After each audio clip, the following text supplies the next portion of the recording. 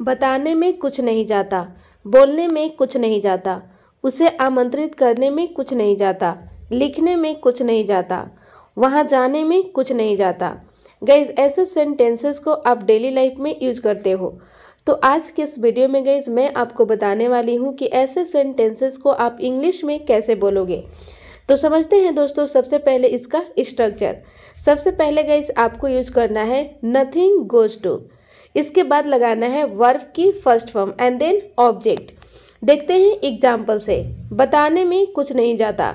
तो गई सबसे पहले आपको अकॉर्डिंग टू रूल यूज़ करना है। नथिंग गोज टू इसके बाद लगाना है वर्ब की फ़र्स्ट फॉर्म वर्ब है बताना, यानी टेल तो आपका कंप्लीट सेंटेंस हो गया guys nothing goes to tell it means बताने में कुछ नहीं जाता। क्लियर अगला एग्ज़ाम्पल देखते हैं। बोलने में कुछ नहीं जाता। तो सबसे पहले यूज़ करना है नथिंग गोज टू इसके बाद गईस आपको लगाना है अकॉर्डिंग टू रूल वर्ब की फ़र्स्ट फॉर्म वर्ब है बोलना। इट मीन्स स्पीक तो आपका कंप्लीट सेंटेंस हो गया guys nothing goes to speak it means बोलने में कुछ नहीं जाता। क्लियर अगला एग्ज़ाम्पल देखते हैं। उसे आमंत्रित करने में कुछ नहीं जाता। तो सबसे पहले यूज़ करना है nothing goes to plus verb की फ़र्स्ट फॉर्म वर्ब है आमंत्रित करना। इट मीन्स इनवाइट किसे? उसे. यानी हिम तो आपका कंप्लीट सेंटेंस हो गया guys nothing goes to invite him it means उसे आमंत्रित करने में कुछ नहीं जाता. क्लियर अगला एग्ज़ाम्पल है.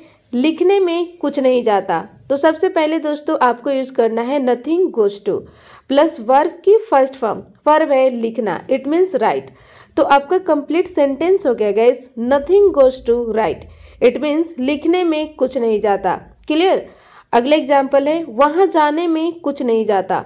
तो सबसे पहले अकॉर्डिंग टू रूल आपको यूज़ करना है nothing goes to plus verb की फ़र्स्ट फॉर्म वर्ब है जाना। इट मीन्स गो कहाँ जाना? वहाँ। यानी देयर तो आपका कंप्लीट सेंटेंस हो गया guys nothing goes to go there it means वहाँ जाने में कुछ नहीं जाता।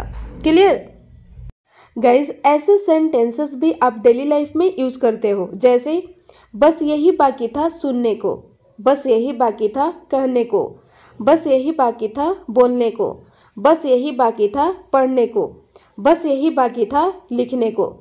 गई तो समझ लेते हैं सबसे पहले इसका स्ट्रक्चर सबसे पहले दोस्तों, आपको यूज़ करना है only that was what left to इसके बाद यूज़ करना है वर्ब की first form and then object तो समझते हैं गाइस एग्ज़ाम्पल बस यही बाकी था सुनने को।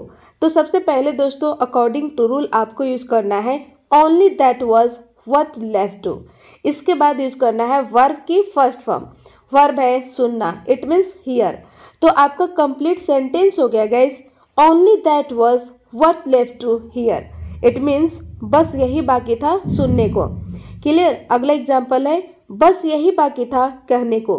तो सबसे पहले गाइज़ अकॉर्डिंग टू स्ट्रक्चर आपको यूज़ करना है only that was what left to इसके बाद यूज़ करना है वर्ब की फ़र्स्ट फॉर्म वर्ब है कहना.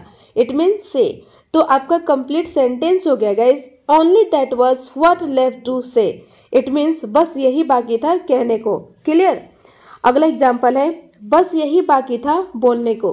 तो सबसे पहले गाइज़ आपको यूज़ करना है according to rule only that was what left to इसके बाद यूज़ करना है वर्ब की फ़र्स्ट फॉर्म वर्ब है बोलना इट मीन्स स्पीक तो आपका कंप्लीट सेंटेंस हो गया guys only that was what left to speak it means बस यही बाकी था बोलने को. क्लियर अगला एग्ज़ाम्पल है, बस यही बाकी था पढ़ने को। तो सबसे पहले अकॉर्डिंग टू रूल आपको यूज़ करना है only that was what left to इसके बाद यूज़ करना है वर्ब की फ़र्स्ट फॉर्म वर्ब है पढ़ना इट मीन्स स्टडी तो आपका कंप्लीट सेंटेंस हो गया guys only that was what left to study it means बस यही बाकी था पढ़ने को। अगला एग्ज़ाम्पल है, बस यही बाकी था लिखने को। तो सबसे पहले गई अकॉर्डिंग टू रूल आपको यूज़ करना है only that was what left to plus verb की फ़र्स्ट फॉर्म वर्ब है लिखना इट मीन्स राइट तो आपका कंप्लीट सेंटेंस हो गया guys only that was what left to write तो बस गाइस आज के लिए इतना ही। मिलती हूँ नेक्स्ट वीडियो में। आई होप आपको ये वीडियो पसंद आया होगा। तो आप only that was what left to and nothing goes to से एक एक सेंटेंस कमेंट सेक्शन में बनाकर ज़रूर लिखें। Thank you